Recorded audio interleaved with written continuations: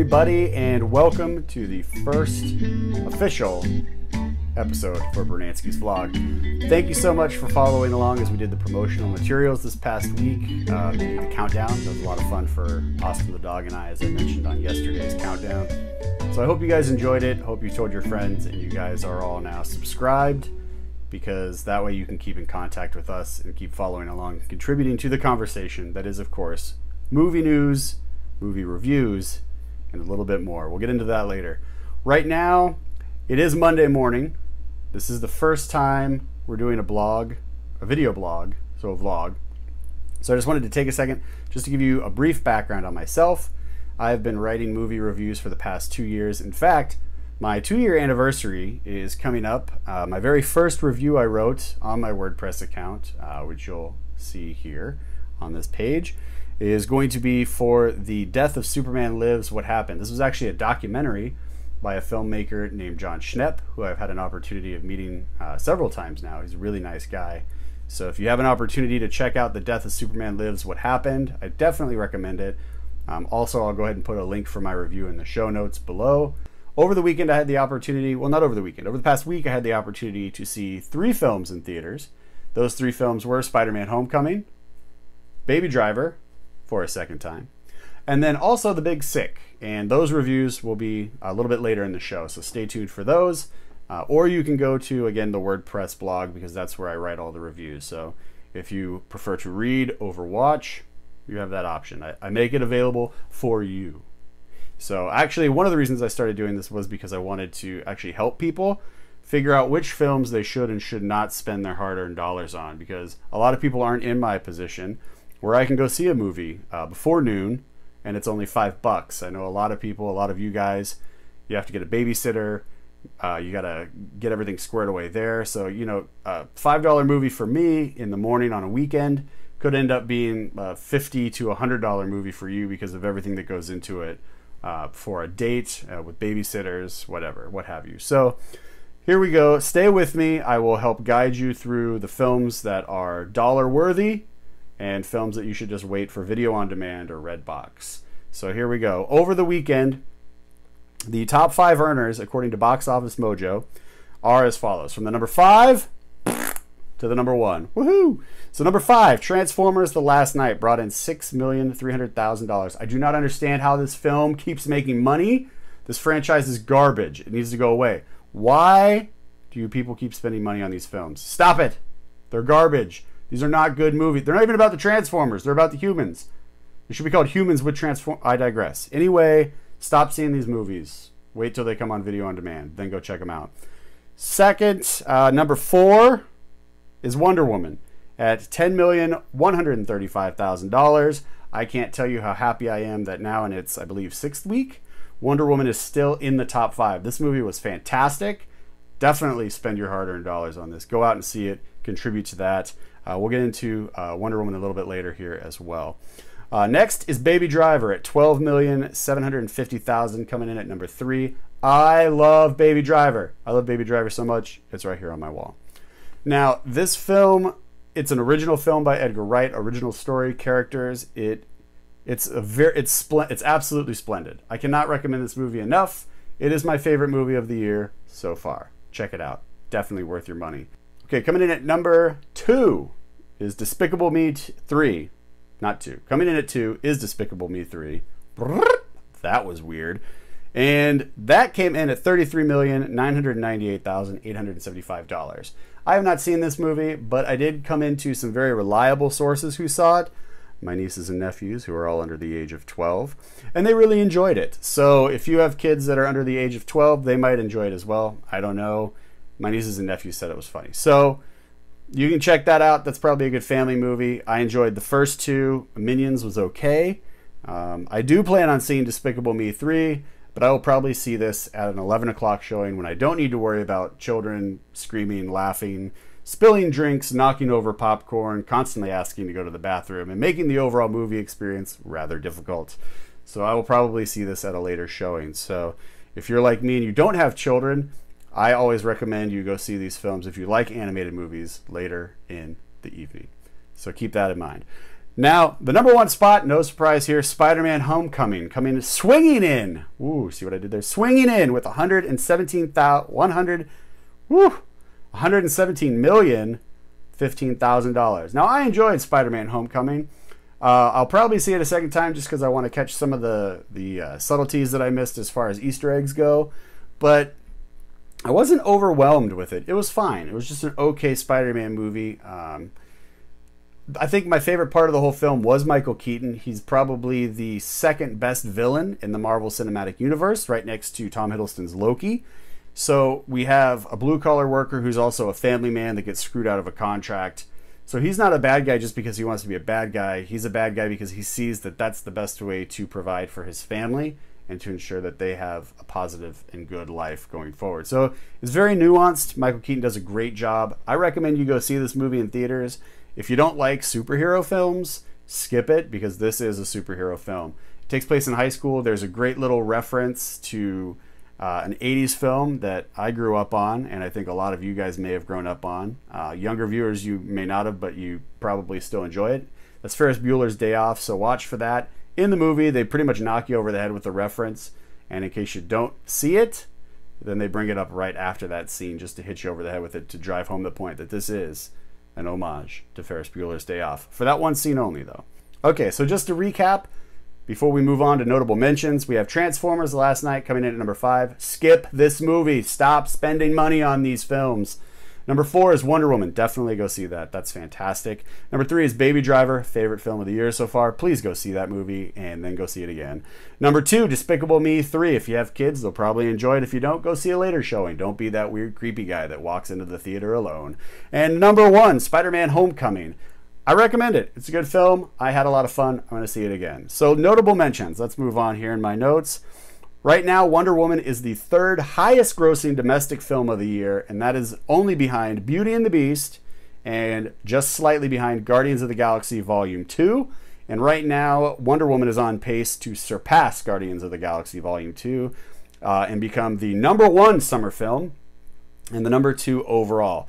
Now, that's not to say that it's going to stay in that position because we still have Thor Ragnarok, we still have Justice League, and we still have Star Wars Episode 8 all coming out in November and December. So we still have some big hitters that need to step up to this plate and see what they can do. But right now, Wonder Woman is poised to be the number two film of the year domestically, and I think that's pretty great. Uh, if you want to see my review on Beauty and the Beast, you can do that as well. That's also on the WordPress.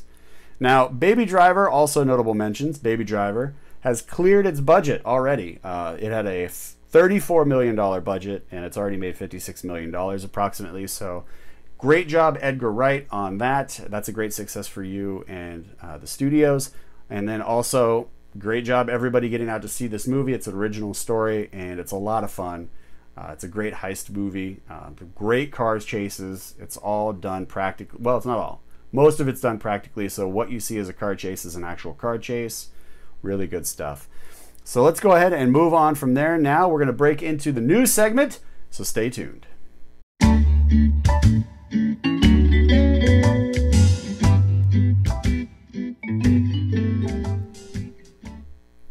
There's a lot of great news stories this week. We're going to cover a few here. What I do is I pick out anywhere from four to six stories that I think were of note, and we'll kind of cover that here. Now, uh, if you want to hear about other stories, other news stories like that, I recommend that you start following the trades online.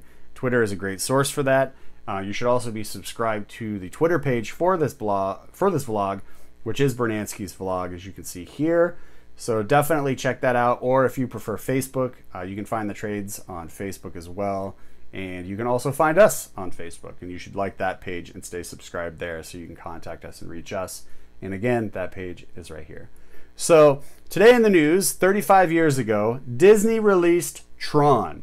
So, happy birthday, Tron, 35 years old. Uh, I'm a huge fan of Tron. I enjoyed Tron Legacy. The movie Tron sparked a fandom in me that continues today. So, uh, job well done, Disney, there, because I'm a big fan of Tron. In fact, I just watched Tron yesterday uh, on VOD, on video on demand, and it still holds up. It's still goofy 80s science fiction graphics, but I love it and uh, definitely recommend you guys revisit that because it's just it holds a little place right here in my heart. All right, so I hope everybody who's watching this, who is going to be attending Shanghai Disney, enjoys the Tron Light Cycle Power Run ride. I'm very jealous you guys have that. And um, if Disney, if anybody at Disney is watching this, get this ride in the United States. Why is it only in Shanghai Disney? Bring it to Anaheim. Bring it to Orlando. It's Tron for crying out loud. We want the light cycle ride. All right. Moving on with more news. Mission Impossible 6 has finished principal photography in its second location of New Zealand, and it's still on track for the July 2018 release date. Now, Mission Impossible 6 is going to be reuniting Tom Cruise with Rebecca Ferguson, Simon Pegg, uh, Ving Rhames, and Michelle Monaghan. And also returning is Alec Baldwin. Now, I have been a big fan of the Mission Impossible franchise, so I'm excited that they are continuing forward with this series. Um, I'm also curious to see kind of what role Alec Baldwin is going to be playing. I'm hoping it's more predominant than it was in the last one. He was kind of an ancillary character in that it worked for me, but I would like to see more because Alec Baldwin's a really talented actor. When you when you give him a role, he commits to it, and that's pretty great. So it works out well for us as fans because we get a good performance, and it works out for Alec Baldwin because he gets a paycheck. Ka-ching! So I'm looking forward to Mission Impossible 6. I'm looking forward to July of next year. Um, that's all pretty exciting. I don't really have anything negative to say about the franchise itself. They keep getting better. Uh, there was a couple missteps early in the franchise, but they've since corrected that. And now we've had a really solid few films. And the addition of Simon Pegg has been great comedic relief, so I'm really happy he's returning. And I also like the swagger that Ving Rhames brings as that kind of badass character, so that's always nice to see too.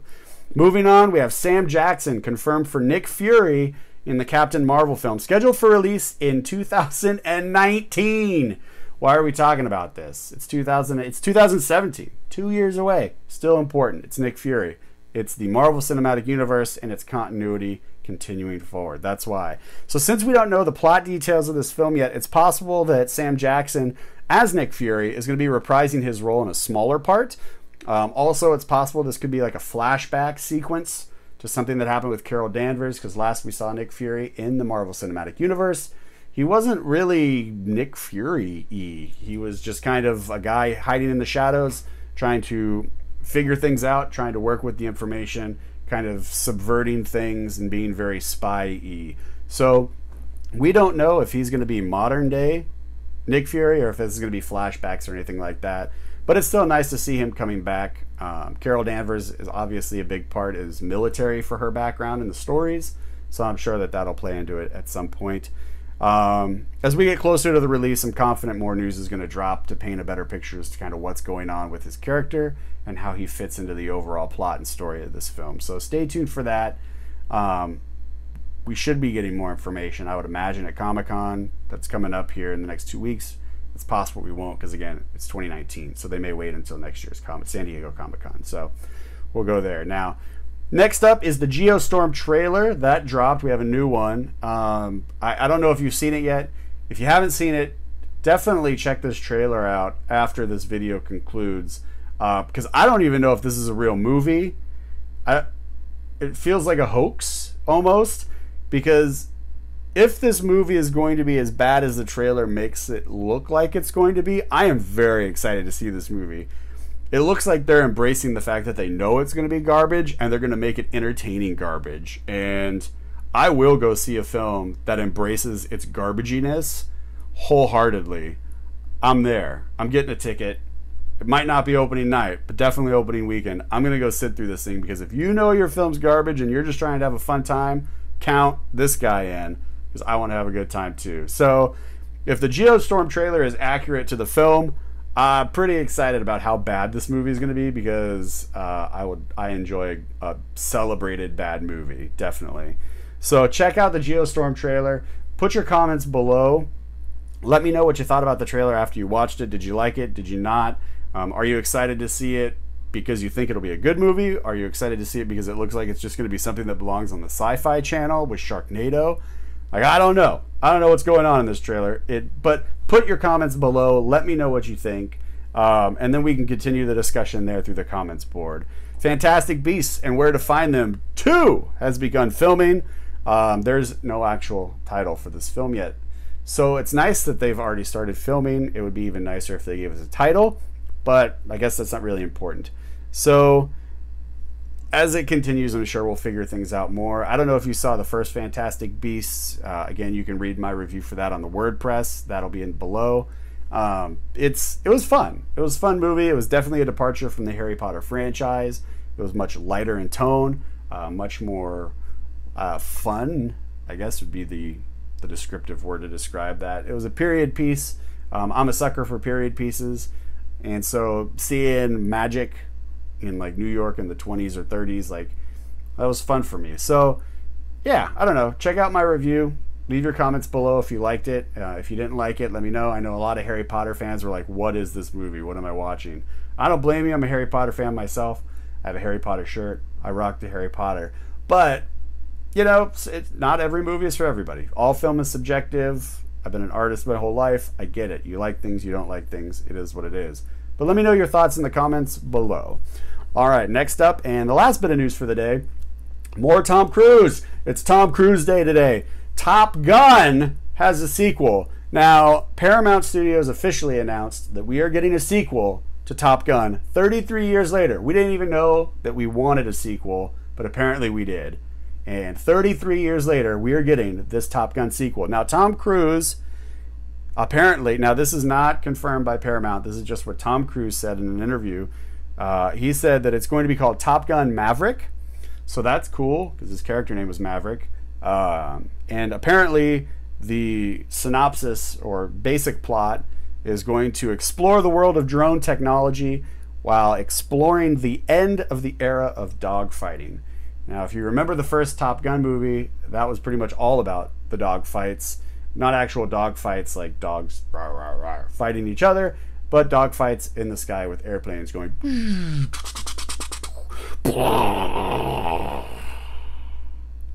like that. Dramatically different than. So, the end of the era of dogfighting with use of drone technology could be cool. It, it is a relevant topic to kind of what's going on today with drone technology and everything else. So, sure, why not? It's Tom Cruise. I like Tom Cruise movies. He has not always made great movies, but they've been entertaining. And the one thing I can say about Tom Cruise is if Tom Cruise is in the movie, Tom Cruise is committing to that movie. The movie might not be great, but his performance will be. So I'm excited about this. You tell me Tom Cruise is in a movie, likely chance I'll be there opening weekend because I have faith. In Tom Cruise, I trust. All right, so let's go ahead and move forward into movie reviews. Like I said, we got three films we're going to be covering today, uh, and that is going to be Baby Driver, Favorite film of the year so far The Big Sick and Spider Man Homecoming.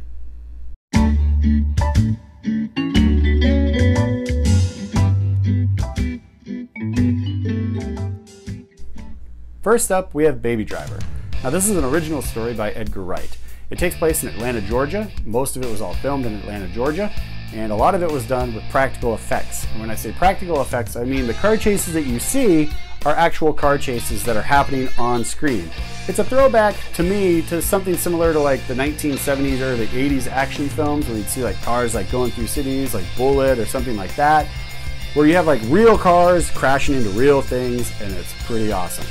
The basic synopsis is uh, this kid, baby, his parents are killed in a car accident. He gets tinnitus, which is a ringing in the ears. And because he doesn't have any parents, he kind of ventures into a road of, uh, of misfortune. So he's heisting cars uh, and everything like that, and that's how he meets Kevin Spacey. Uh, Kevin Spacey is kind of like the, uh, the, the ghost in the machine, if you will. He's kind of running the operations that Baby drives for. He never works with the same crew twice, but Baby is always his driver, which is pretty interesting to me. The film overall is written very well. The characters are all uniquely special so you don't ever feel like you have the same character in the same scene. Uh, you always feel like you have six characters in one scene. And I really like that. I like the diversity that the cast gives. I think this might be Jon Hamm's best performance. Jon Hamm was my favorite character in the movie because you actually see a full arc with his personality of going from uh, a guy who's just a guy who's just a bank robber basically all the way into this guy who is seeking revenge and is completely just mad and driven by the color red, as is described in the film. definitely recommend you guys check this film out. It is my favorite film of the year so far. The music in it is fantastic. The movie itself almost feels like a musical because in a musical, the music actually moves the story along and helps drive the plot. This is the exact same kind of thing, except there's no songs in it that the characters are singing. It's just that the music itself is actually helping to drive the plot forward. So while a song is playing, you will see the characters kind of moving in rhythm to that song. When a song is playing, if it's shots being fired by guns, those shots are being fired in the rhythm of the song. The whole movie is based around the music, which makes it very unique to what's happening in cinema right now as far as what's being played in theaters. I haven't seen a movie like this before that I can recall, and I love the originality of it. So definitely, definitely check this movie out. Baby Driver gets all the high fives. Loved it. All right, next up we have Spider Man Homecoming. Now, Spider Man Homecoming is the sixth. Oh, sixth. We're going to call it sixth. We're not going to count that weird version in like the 70s or 80s where he's Spider Man slinging ropes. That's out. We're done. Hands are washed. I got no cards left. We're out of this game. So this is officially the sixth Spider-Man movie. We had three with Tobey Maguire, we had two with Andrew Garfield, and now we've got one with Tom Holland. Now this film takes place in a modern setting. Uh, it goes back in time to the Marvel Cinematic Universe right after the events of the first Avengers film, and then it also jumps forward to Civil War and then right after Civil War. So there's a little bit of time hopping, so you do have to pay attention because otherwise you will get lost in the story as to where are we right now in the timeline of the Marvel Cinematic Universe. Are we pre? Are we post? What's going on? Just pay attention. The movie does a really good job of guiding you through each segment, and for that, I give it all the kudos. Now, Adrian Toomes, aka the Vulture, is played by Michael Keaton. He was my favorite character in this film. He's nuanced, he's layered. I couldn't get enough of this bad guy. Spoiler alert! I am thankful they did not kill him. Let me repeat that. I am thankful they did not kill him. I love this character so much. I am looking forward to any potential for him to return. Now, I don't know. I think Michael Keaton's only contracted for one film, so he may not return. Michael Keaton, if you're watching this, please do all the movie going fans a favor return as the Vulture.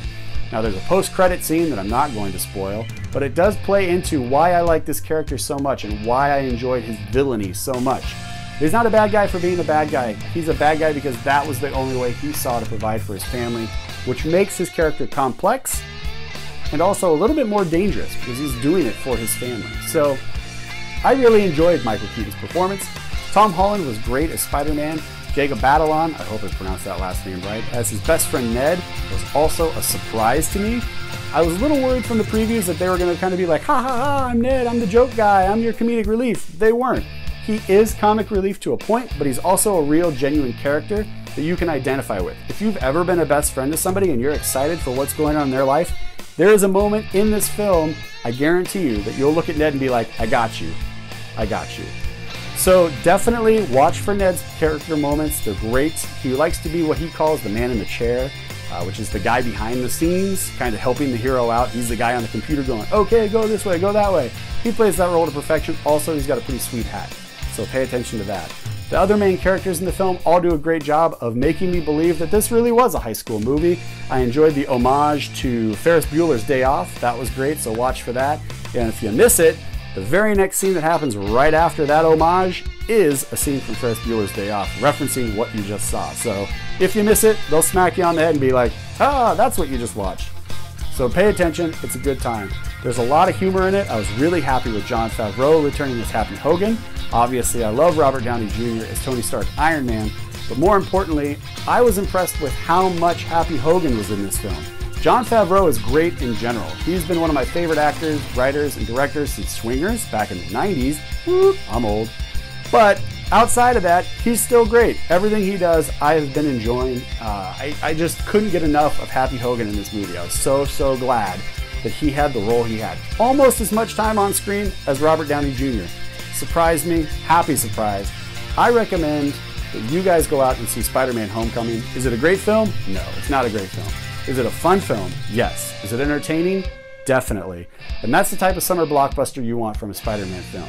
You won't walk out of the movie disappointed. You will walk out smiling. You probably will be talking about it and laughing with your friends if you go see it with people.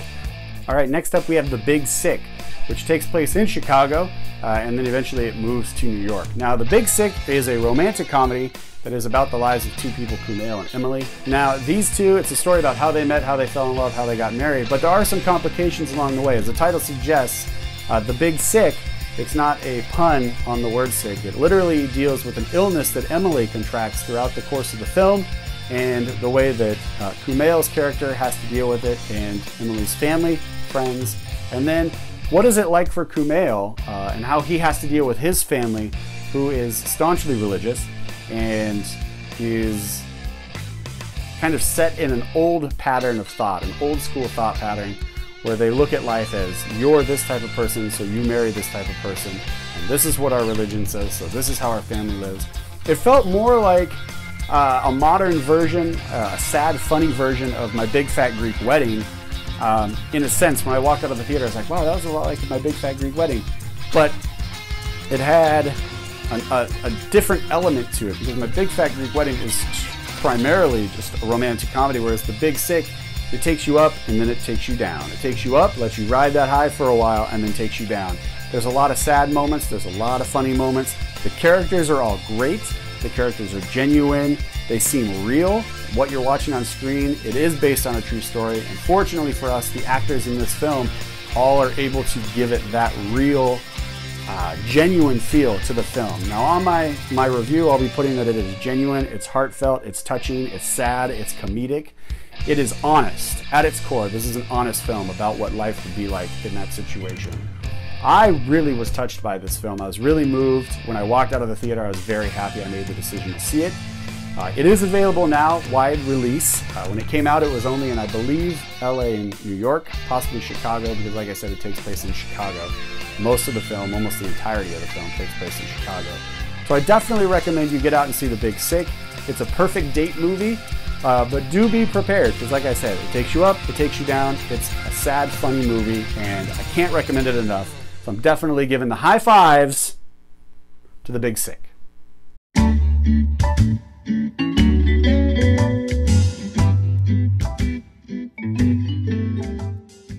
All right, now that we've covered the movie reviews, let's get into what's coming out this week, both in the theaters as well as Blu ray. So, on Blu ray, we have The Fate of the Furious is coming out this week, as well as The Lost City of Z. Now, I didn't see The Lost City of Z, but I did see Fate of the Furious. And again, if you would like to read my thoughts on that film, you can go to my WordPress account and you can find it there. Now, as far as uh, major motion pictures, uh, we have this weekend War for the Planet of the Apes. I'm excited. I've liked this franchise. It's been fun. Andy Serkis does great work um, in the motion capture. I, I think he's pioneering uh, film and the way it's made. And I think when people look back, maybe 20 years from now, when they look back on how motion capture started, I think Andy Serkis's name is going to be right up there uh, as one of the major forces to help drive this type of technology. Um, and I, I think that's pretty great because I think we've had some pretty impressive advancements in motion capture. And a lot of that, I believe, is because of Andy Serkis because he commits to wearing all of all of the buttons and the colors and the, the CGI outfits to make sure that we get these characters and these roles to uh, what I think is a pretty great performance. So we're looking forward to War for the Planet of the Apes and more Andy Serkis. And then also, like I said, uh, on DVD, Fate of the Furious, as well as The Lost City of Z. So go ahead and check those out too if you want. And again, if you want to see my thoughts on Fate of the Furious, just go ahead and visit my WordPress and we can find it there. I do want to mention that I will be at D23 this weekend. I'm pretty excited about that. I have the three day pass. Uh, so I will be there Friday, Saturday, and Sunday. So if you guys see me, wave at me. I'm gonna have um, I'll have my Nikon camera with me. I'll be there. I'll be doing a little bit of video. Uh, we'll be photographing a lot. So if you're there and you're in cosplay, get at me and let me take a photo with you guys, and we can go ahead and have some fun at D23 in Anaheim this weekend. I am excited about the live animation or the live the live movie panel covering Star Wars, covering Marvel, and what Disney has to offer. I'm also excited about the Disney Animation and Pixar panel uh, to see kind of what's on the table as far as animation goes for this moving forward into this next year. Thanks everybody for watching this first official vlog, the launch of Brunansky's vlog. Thank you so much. If you guys enjoyed what you saw today, please go ahead and click the subscribe button. Also, give me a thumbs up if you enjoyed what we covered and what we talked about today.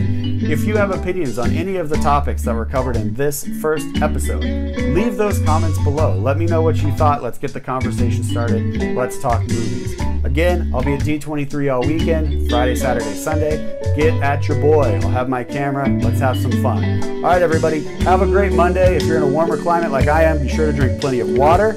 All right, be safe out there. Have a great week, and I'll see you next Monday.